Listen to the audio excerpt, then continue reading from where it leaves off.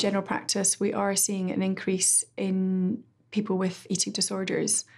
The average age of presentation of an eating disorder is around 16, 17 years. And the majority of people with eating disorders are young girls or women. People with eating disorders often find it difficult to speak up and ask for help. The first step in getting better is recognizing there is a problem and talking openly about it to get the help that you need. How are things going? Yeah, it's actually interesting because that's what I so why I started that banner that I was telling you about Oh. was um, wanting to, because I think the whole food thing is a lot mixed up with emotions and stuff, and it's not just the food issue; it's a lot more than that. Yeah. So it's been really helpful, just been getting um, counselling and and actually been addressing like other roots of why my eating might have been bad. Okay, that sounds So really that's helped. helpful. Yeah. And, Yeah, and that's really the helped. banner that Yeah. you got. Do you Yeah. want to show me? Do you wanna it? show? Yeah, absolutely. Because I broke my foot um, three days after I started it. Jessica has made fantastic progress and is doing currently very well. She broke her foot several months ago and she found that when she was wearing crutches and she was forced to have a period of rest in hospital that she was able to openly accept the help from those around her and it made her draw comparisons with her emotional well-being and with her her anorexia Okay. And I called it the Beauty from Ashes journey because um, I guess like my whole eating thing started because I was really afraid of not being perfect and wanted to like address why I didn't feel like good enough or perfect as I was. So I started the banner as a friend gave me the phrase, when I'm me, I have liberty, That's a very good phrase. which was yeah. a really good phrase. The beautiful poster that she showed us in the consultation was her way of illustrating the, the healing process that she went through. I was very touched that she wanted to share that with me, and I think it's an excellent way that she has found for herself to, to help describe what she has, has been feeling.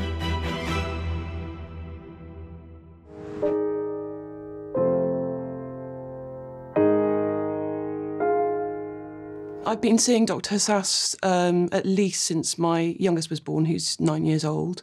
He just appealed to me because he's kind, he's a good listener, and that's just what you want out of a GP. You need someone to listen to you. How are you getting on? Um, I did. I had came to a bit of a. You know, I haven't been bathing, and uh, it's become a bit of a an, an issue for me, and that's why I got this infection on my scalp. If you remember. Okay. The name for my personality disorder is emotionally unstable personality disorder, and there are many different types of personality disorder.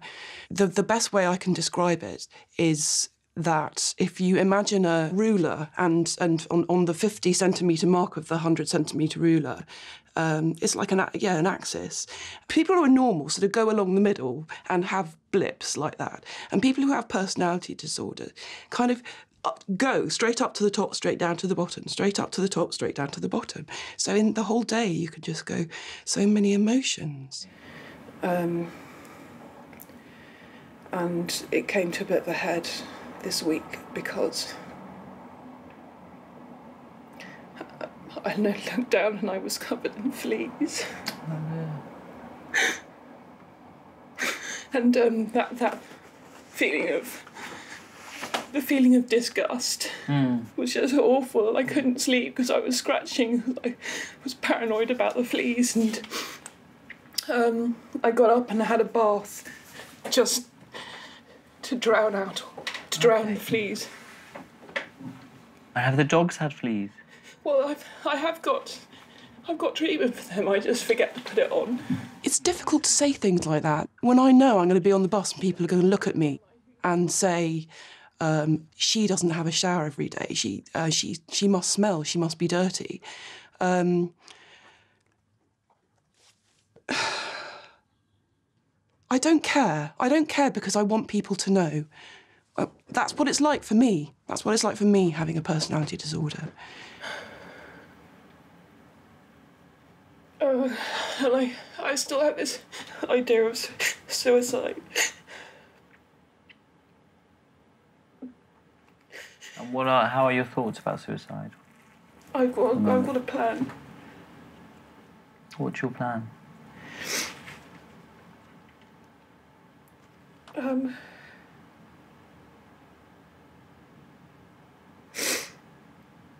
well, I've, I've got some lorazepam that uh, they gave me when I left hospital. It's not enough to OD on. And I figured if I took more than I should, and then I, then I'd have the courage to walk in, walk in front of a bus or, or walk into some traffic. For me, my relationship with my GP is extremely important. They're the front line, if you like. I, I would also see a psychiatrist, but I see my psychiatrist every four months. Um, if I'm having a trauma, my GP is, is who I go to. So what what needs to be done to keep you safe? Janet? What what do we need to do? Because I think in the past it's been impulsive, hasn't it? The the overdoses. Not completely. You've been thinking about it for a while, but some things that made you do it.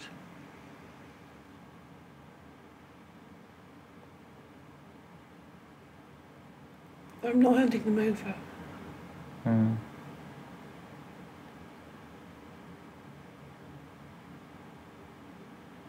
That, I, that idea is the only thing I have to cling on to. The idea that you have something. Okay. All right. Okay. And what's helping? Are you managing to control those urges at the moment? Only, only, just. Yes. What's helping with that? Um, I find when the when I'm with the dog outside, for instance, Mm-hmm. um, I have fewer suicidal thoughts because I, I guess because I'm being with the dog makes me more pr- present. Mm-hmm. It's when um, when I don't have the dog, they get really they get really intense. So if I'm on a bus and I see a bus coming, I see me walking in front of the bus, or Mm-hmm. um, it's just a continual a continual on and off fantasy. Mm. I've got two pets. I've got a dog um, and a cat. Those animals um, are purely and utterly in the present. So if you take the dog out, then you can only be in the present. You can't be depressed because depression is about being in the past. You can't be anxious because anxiety is about thinking about things in the future. You can only be in the present because you're because that animal is only in the present. When is your biggest risk time? Is it the mornings or is it evenings or is there a particular time of the day? Probably evening. In the evening. Okay. And do you take the dog out in the evening?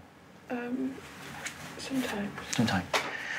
So for this week, could you kind of think about taking the dog out in the evening? Can we just try it just over the weekend? Yeah.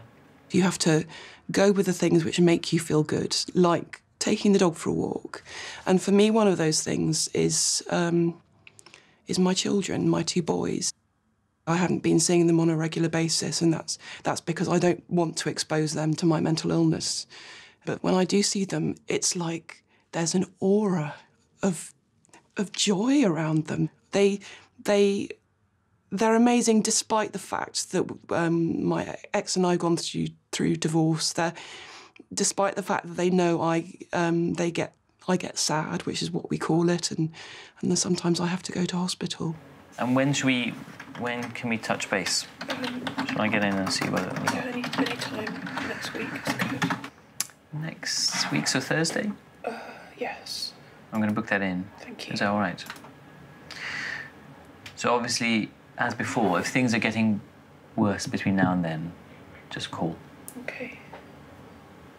And you'll be feeling you can't control the urges. That I think that's what I'm. I think we need to be just be aware of. I want to see my sons grow up. I really do. I think they're going to be amazing people. Um, I want to. I want to go back to work eventually, um, even though I've not worked since the uh, youngest was born. So I haven't worked for nine years. I, that's what I'd like to do. I'd like to feel that I can be responsible. It's something which makes me feel a tiny bit more positive about the future. Okay. So that's the tablets, and then the appointment's booked for next Thursday. Call sooner if you need to. All right. Good to see you. All right. Bye bye now.